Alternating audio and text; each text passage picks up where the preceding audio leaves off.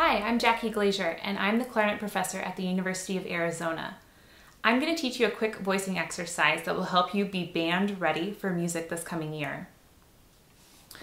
Control and good sound in the upper register of the clarinet is difficult to achieve, especially when we're articulating. I recommend practicing voicing exercises to help learn what you need to do with your tongue position, your air speed, and the shape of your mouth to improve the sound quality and articulation in this register. I'm going to teach you a couple exercises and they're going to get progressively more difficult. So feel free to start at wherever your level is and just practice this exercise for a few minutes each day um, to see if you can improve and get to the more difficult levels. The first thing we're going to do is uh, play a high C and then we're going to let go of the register key as we're holding out the high C it's going to drop an intonation. That's not really a problem. We're just trying to see if we can continue to hold the note with a good sound as we diminuendo.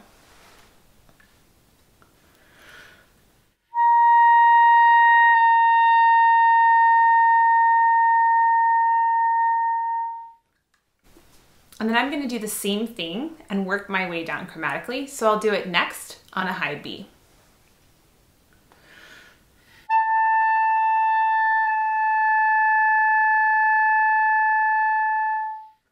After that, I'll go to B flat and then A and then G. And this has helped me work that upper clarion register of the clarinet. If you want to make it more challenging, see how soft you can get without the lower subtone, the lower partial fundamental note creeping in. You'll start to hear it, it'll sound like this.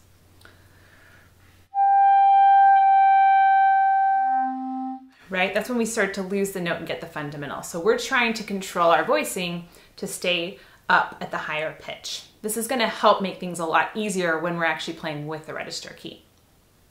The second step is to do the same thing and then try to articulate. You wanna make sure that you're using a legato tongue and keeping your air going, very, very light pressure with your tongue. And again, we're trying to see if we can prevent that subtone or lower fundamental from speaking. So I'll start on high C again.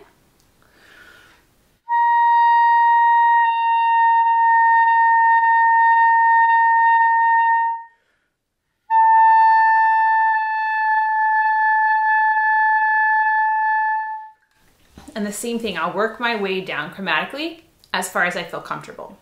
This exercise gets more difficult the lower we go in the clarion register. Once you've practiced those two steps, the third and more fun step is to see if you can actually switch between the partials without using the key.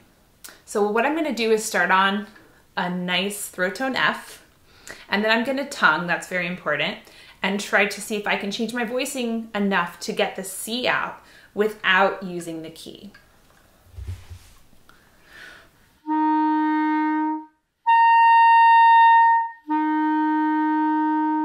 So I'm not changing my fingering at all, I'm just changing my voicing.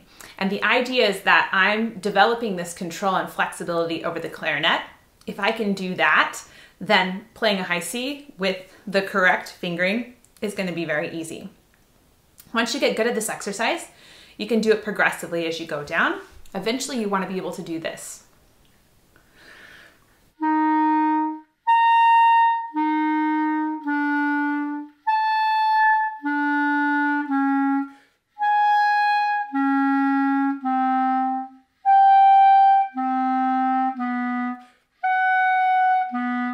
etc. And you can go down as far as you feel comfortable.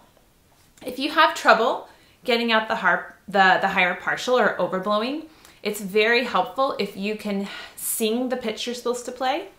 So see, I'm having trouble getting that C out. I'm gonna sing the high C. See, there's a big connection between singing and voicing. The more that we can hear the pitch in our head, the more we know where to aim. That can be very helpful. Another thing that will really help if you're having trouble getting it out would be to use a drone on your tuner on that pitch so that you have something to listen for for your ears to match. I hope you have fun with this voicing exercise. It should make articulating in the upper register and just sounding better up there a lot easier.